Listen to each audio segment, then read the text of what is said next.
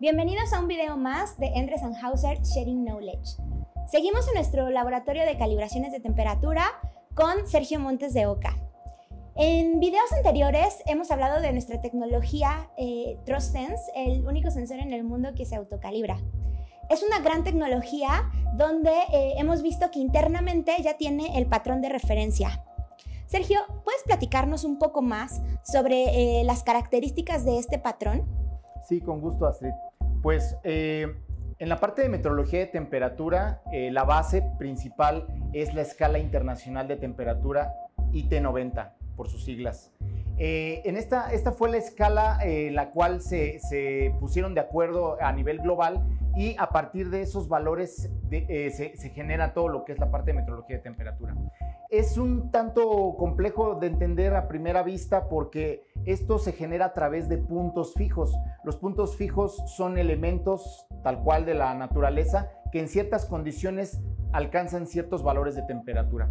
Entonces lo que queremos hacer ahora con TrustSense es eh, hacer algo similar a lo que son los puntos fijos, es tener un elemento de alta pureza dentro del dispositivo para que en ciertas condiciones reproduzca un valor exacto y con ese se pueda eh, autocalibrar.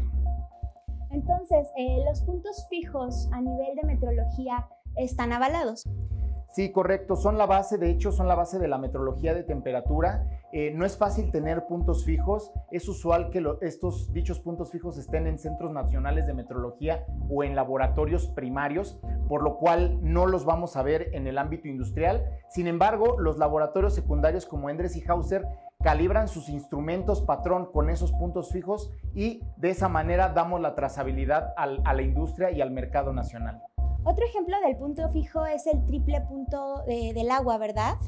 Sí, aquí hay un debate. Realmente los puntos fijos son, son elementos y se quiere dar a entender que el punto triple del agua pudiera ser un punto fijo. Algunos lo consideran, algunos no. Lo que sí es cierto es que es lo más cercano a un punto fijo y realmente es lo más reproducible para un laboratorio. Entonces es una gran herramienta para establecer un valor cercano al cero.